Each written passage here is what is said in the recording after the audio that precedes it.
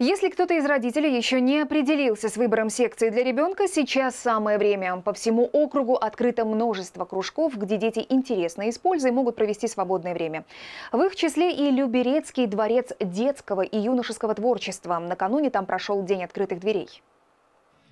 Новый учебный год во Дворце детского юношеского творчества начался с приятных новостей. 15 воспитанников учреждения стали лауреатами именной стипендии губернатора Московской области. Ребятам в торжественной обстановке вручили свидетельства.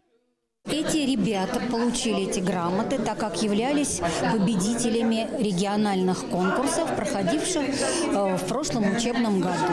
Помимо свидетельства еще денежный приз Покупка нового штатива, вспышки и телефона – ценное вложение для дальнейших побед. Именно так потратил именную стипендию Иван Коробов. Фотографией он занимается несколько лет, отдает предпочтение городской съемке и пейзажам.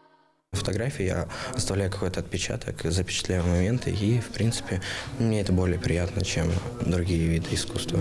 Для меня победа, наверное, скорее всего, это какая-то гордость за себя, за родителей, за преподавателя. Победа в областном конкурсе досталась и ученице фотостудии «Эврика». Мария Колесова с детства работает в жанре портретной фотографии.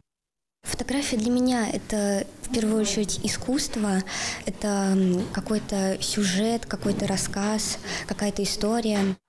Сегодня в муниципальном учреждении дополнительного образования работает 68 студий. Ребята, приходя сюда, имеют возможность заниматься музыкой, танцами, изобразительным искусством, реализовывать свои актерские способности. Обучение во Дворце детского творчества бесплатное.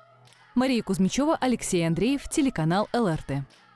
Всем привет, я Луиза, а вы смотрите телеканал ЛРТ. Подписывайтесь на наш канал на YouTube, ставьте лайки, и вы будете в курсе самых интересных событий.